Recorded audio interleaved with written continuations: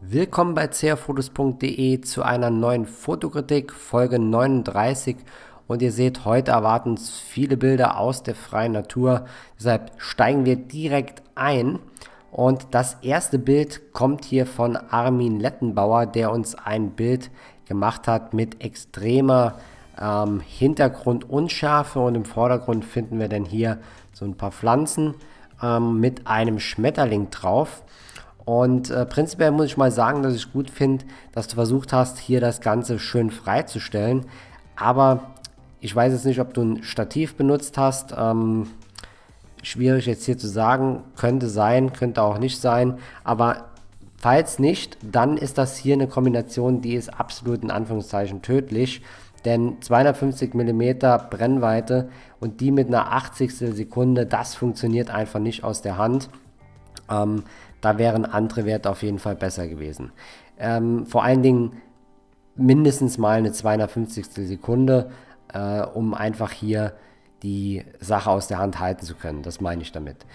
Blende 6.3, das ist wahrscheinlich dem Objektiv geschuldet bei dieser Brennweite und ISO 400, um letztendlich überhaupt mal in einen Bereich zu kommen, äh, der ein ja, korrekt belichtetes Bild überhaupt ermöglicht hat.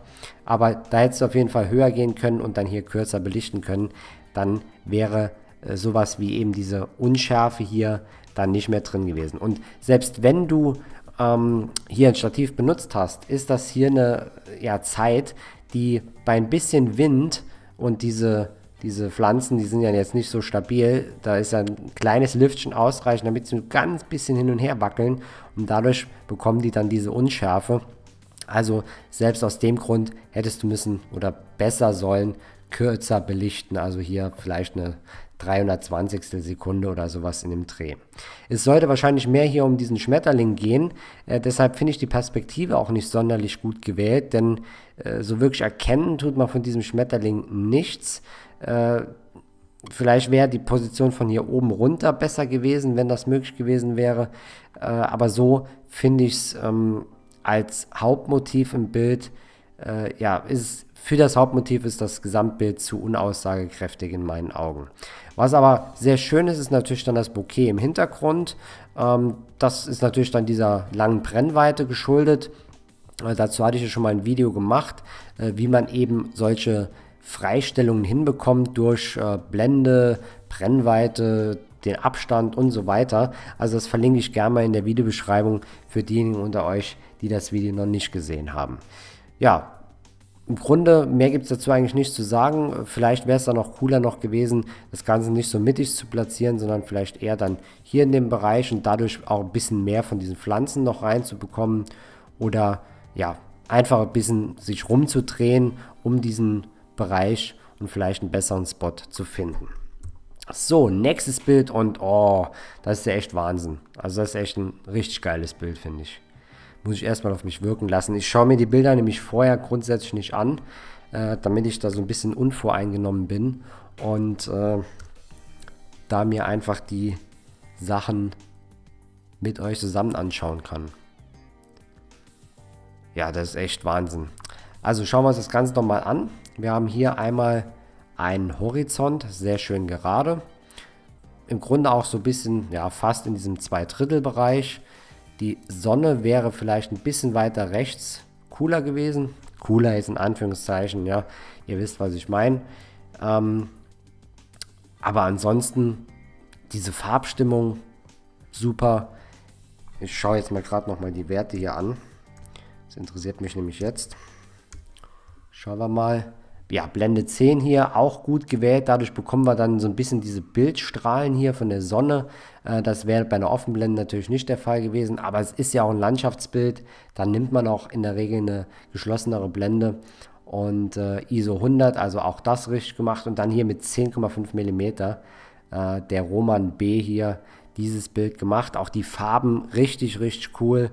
Wir haben einen Vordergrund, auch diese Verzerrung, so diese in Anführungszeichen geringe Verzerrung äh, von dieser Brennweite hier in dem Bereich, ja, das, das wirkt schon sehr cool. Ja. Das wirkt so ein bisschen einrahmend, weil es alles so ein bisschen äh, so geschwungen ist. Ja, so. Das ist echt sehr cool. Hier dann noch diese Brücke und eine extreme Weite drin. Also ja, was soll ich dazu sagen? Wirklich ein sehr, sehr geiles Bild. Hast du gut gemacht. okay, danke für dein Bild, für die Einsendung des Bildes. Wir kommen zum nächsten Bild. Das ist ein äh, Foto von Dennis, der hat das eingesendet. Äh, 125 Sekunden, Blende 7.9, ISO 200. Okay, das ist irgend so eine, so eine äh, andere Kamera, weil 4,9 mm, das kann ja nicht sein. Ähm, also mit einem hohen Crop-Faktor sehr wahrscheinlich. Okay, schauen wir doch mal. Schwarz-Weiß auf jeden Fall, das sehen wir schon mal. Ähm, ja, ich finde das eigentlich auch ganz cool, weil sich dieses Muster äh, von diesem Gras, äh, in dem sie liegt, dann noch mal in ihrem Kleid so ein bisschen drin findet. Also auch so extrem, in Anführungszeichen, Unruhe drin. Und dadurch erscheint sie zunächst mal wirklich als Teil von diesem Untergrund. Dann hier eine recht symmetrische Pose. Ich hätte vielleicht hier an der Stelle, die Hand gefällt mir jetzt nicht ganz so gut, sieht sehr verkrampft aus. Und ich hätte ihren Blick auf jeden Fall ein bisschen weiter nach unten gesenkt, dass man noch ihr zweites Auge hier sieht. Das ist nämlich komplett verschwunden, das ist ein bisschen schade. Ähm, und auch das, das eigentliche Auge hier ist nicht ganz zu sehen. Ähm, das hätte ich ein bisschen besser gefunden. Aber so die Idee finde ich eigentlich ganz cool. Schwarz-Weiß finde ich auch ganz cool hier. Ähm, ja, mehr will ich dazu gar nicht sagen. Auch das ist jetzt sehr symmetrisch, ja, sehr mittig, aber dadurch wirklich hier so ein Kreuz im Grunde. Und äh, auch das ist bildgestalterisch, finde ich dann eigentlich ganz gut gelöst hier. So, nächstes Bild von Kai. Kai hat leider keine Metadaten mit reingepackt in das Bild. Das macht aber nichts. Ähm, was haben wir denn hier? Sonnenauf- oder Untergang.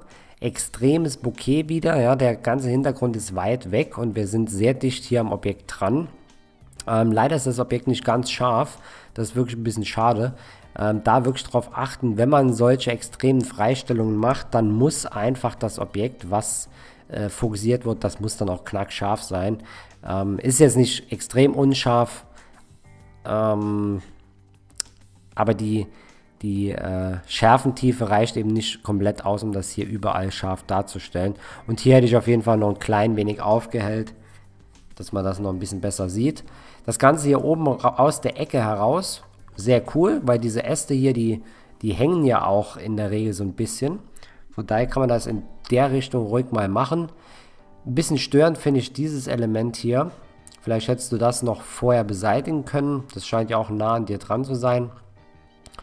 Ja, aber ansonsten mit diesem Licht von hier hinten, ja, und dann diese passive Aufhellung hier. Natürlich, hier muss dunkel sein, ist klar. Ähm, hätte man in der Nachbearbeitung ein klein wenig aufhellen können. Darf man natürlich nicht zu viel machen, sonst wirkt es insgesamt wieder unstimmig. Aber ja, ist auch ein schönes Bild, gefällt mir sehr gut.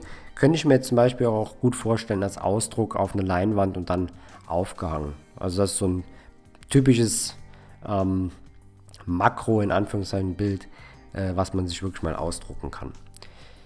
So, dann kommen wir zum nächsten Bild und ohne jetzt zu wissen, wer es eingesendet hat, ah, ich hätte mich jetzt äh, vertan. ich dachte jetzt eigentlich, ich glaube, Richard Pool oder Pool äh, sendet immer gern ein Hundebild ein. Heute kommt das Ganze von Samuel und das ist auch sehr cool. Gleich zwei Vertreter ihrer Art hier auf einem Bild beim Spazierengehen, beim Rumtoben, beim Spielen und hier in vollem Flug äh, eingefangen. Und da müssen die, äh, leider die Kameradaten auch nicht dabei, die müssen natürlich extrem gut gewesen sein, sonst bekommt man das so nicht hin. Also sehr kurz belichtet, die sind hier wohl extrem flott unterwegs, vielleicht eine 2000 Sekunde. Dann natürlich einen guten Autofokus, der hier äh, das Ganze blitzschnell fokussiert hat. Und dann natürlich, ähm, ja, wahrscheinlich im Burst-Modus gewesen, um einfach aus einer Vielzahl an Bildern eben hier einen guten Blick hier und auch einen guten Blick hier zu erwischen und dann passt das. Ja, sehr schönes Bild, viel Action im Bild drin, coole Farben, Sommer. Ich glaube, da äh, schwingt direkt der Spaß, der vor Ort war, äh, schwingt damit. Okay, ach, damit sind wir schon am Ende dieser Fotokritik. Ja, und dann heißt es für mich nochmal, ein Bild auszuwählen und auch ihr sollt bitte ein Bild auswählen. Schreibt mal in die Kommentare, ähm, ja, welches Bild euch heute am besten gefallen hat. Ich denke, meine, äh, mein Favorit, der ist jetzt ganz eindeutig schon äh, hier mitgeklungen von meiner Seite aus. Und zwar ist das das hier. Ähm, auf jeden Fall, das ist wirklich Hammer. Also die Farben, alles. Also an dem Bild hier ist wirklich alles stimmig. Gefällt mir sehr, sehr gut. Deshalb heute mein Favorit. Wenn ihr auch mitmachen wollt bei der Fotokritik, dann schaut mal in die Videobeschreibung. Da findet ihr den Link drin, über den ihr mir Bilder einsenden könnt. Macht das aber bitte so, dass ihr ein einziges Bild hochladet, nicht zehn, weil ich werde dann, ich sehe das ja, dass die von euch sind und dann suche ich mir da auch nur eins raus von euch, äh, weil es machen so viele mit und soll natürlich jeder mal zum Zug kommen und nicht ewig warten müssen. Ähm, deshalb bitte nur eins hochladen. Wenn das dann abgelehnt wird von mir, dann bekommt ihr eine E-Mail und dann könnt ihr gerne nochmal eins hochladen, aber nicht zehn auf einmal. In dem Sinne, ich bedanke mich fürs Zuschauen. Wir sehen uns beim nächsten Mal wieder und äh, ich wünsche euch noch einen schönen Tag. Macht's gut. Ciao.